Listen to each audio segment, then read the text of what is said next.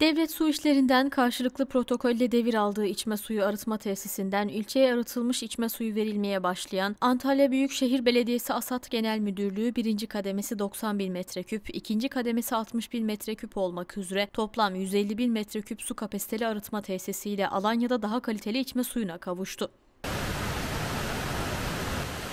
Dim Barajı'ndan içme suyu arıtma tesisine 5 kilometrelik isale hattı çekilerek su getiriliyor. Burada filtrelerden geçirilen ve insani tüketim amaçlı sular hakkındaki yönetmeliğine hazır hale getirilerek 8,5 kilometre uzunluğundaki hatla Küçük Hasbahçe mahallesinde bulunan içme suyu deposuna ulaştırılıyor. Buradan da Alanya merkezdeki 17 mahalleye veriliyor.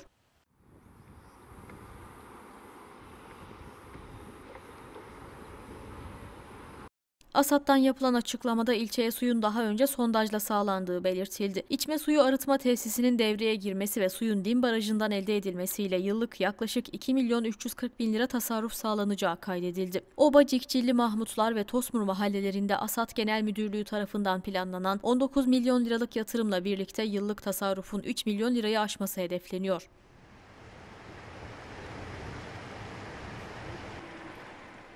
İçme suyu verilen mahalle muhtarları ise içme suyu arıtma tesisini ziyaret ederek incelemelerde bulundu. Arıtma tesisinin devreye girmesinden memnun olduklarını belirten muhtarlar, daha sağlıklı ve hijyenik bir içme suyuna kavuşacaklarını belirterek teşekkür etti.